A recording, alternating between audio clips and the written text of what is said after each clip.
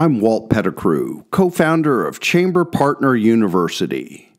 Many of Geoffrey Moore's frameworks have become axioms in the business world.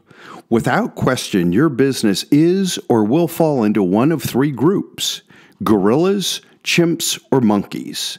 This time proven primate pecking order determines who gets the most and best bananas.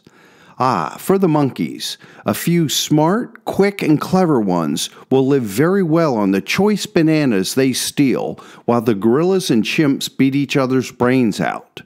The majority, however, will live on leftovers. The advantage of being the gorilla is that they enjoy market segment and revenue leadership, thereby earning a dramatically disproportionate share of the total market profits. How do they do this? They take revenue engine and marketing fundamentals seriously. These principles have given them an unfair competitive advantage.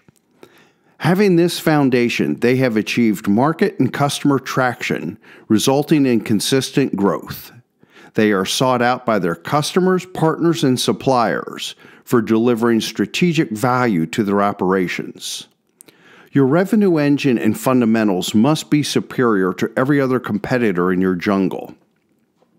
Gorillas identify the target audience and develop vivid customer personas.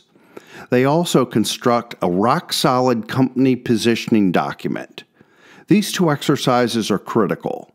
Together, they produce the superior customer value proposition, your cornerstone enabling the build out of your compelling brand story. Without this solid foundation, you are left with an inferior demand generation engine, one not capable of attracting, acquiring, and engaging customers. Gorillas, they live in your jungle, and the jungle is unforgiving. The futures of lesser primates will be determined by their skill, savvy, and speed. Those who continuously learn the most, fastest, will thrive. Those who do not will die.